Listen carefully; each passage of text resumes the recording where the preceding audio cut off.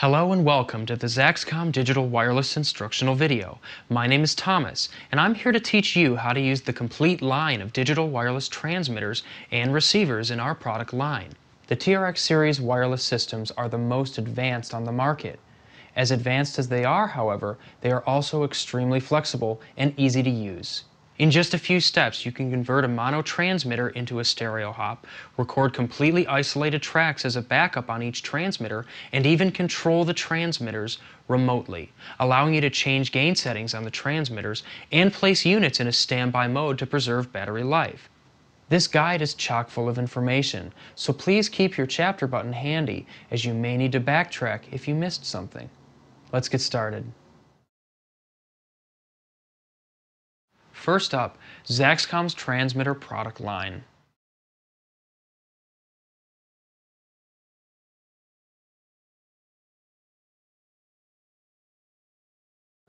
The TRX 900 and the TRX 900 AA. These body pack transmitters are identical in every way, except for the size and battery type.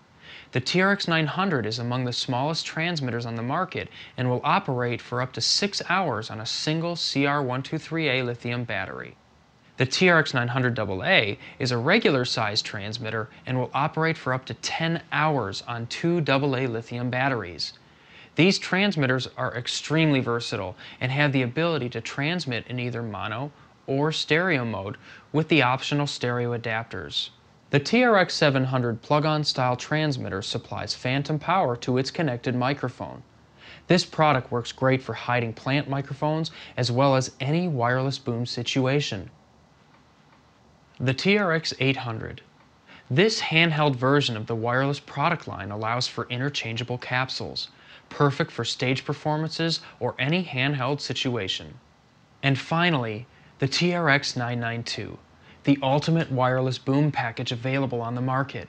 It allows a boom operator to have a lightweight transmitter on their belt, as well as a built-in IFB receiver, rather than having to wear multiple products to accomplish the same task.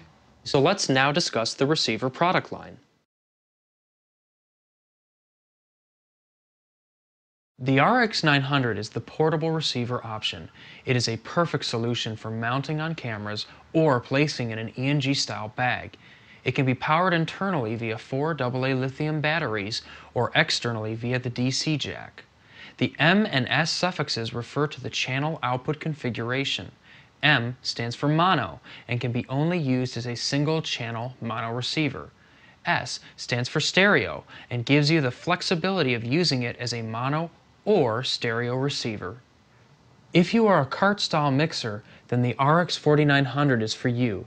It is a rack mounted receiver that contains four permanently installed receiver modules. Just like the RX 900, this product has the ability to receive mono or stereo as well, and has eight XLR outputs on the back to allow up to four sets of stereo outputs. It is powered only by external DC and is supplied with an external power supply. It also has a headphone matrix on the front panel for quick listening purposes. Last but not least, one of the most revolutionary products in our industry, the IFB 100. This product introduces a revolutionary way of controlling your equipment that interfaces with the transmitters directly. It allows you to control the transmitters from your ENG bag or mixing cart without leaving your mixing station. You can remotely change the gain on any of your transmitters, even during a take. In between setups, you can engage the low power mode, which will put your transmitters into a sleep mode to greatly increase battery life. So, now that you know the product line, let's dive into these units and show you how to use all of these exciting features. But first, let's make sure that our units are up to date with the most current software. This ensures the reliability of information in this video, as well as the most functionality out of your wireless system. First, turn on your transmitter. When it lights up, press and hold the down key. This slows down the boot up process and allows you to read the software version number in the upper right hand corner of the screen. Now, if your transmitter reads 610, it has the latest version as of this video. If not, please continue on to learn how to update your transmitter. First, we need to download the installation file from Zaxcom's website. Under the support link, click on Software Updates and download the latest TRX series operating software.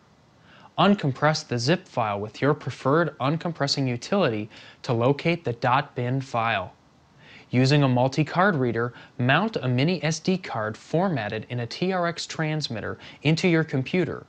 When the card mounts, drag and drop the .bin file directly into the card's root. Eject the card. With your transmitter turned off, insert it into the media slot. Flip the power on and quickly hold the up and down arrow keys on your transmitter with one hand. Once you see it display burning ROM, you can let go of the keys. When the transmitter displays that it is finished, cycle the power by flipping the power switch off and back on again. You should now see that the unit has updated its version number to 610 during the boot cycle. One quick note, there are two different .bin files in each software release for the TRX transmitters.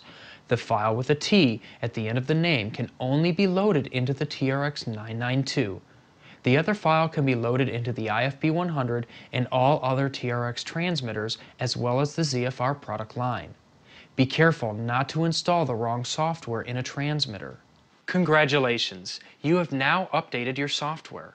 Now let's continue to learn how to use your wireless system in mono mode.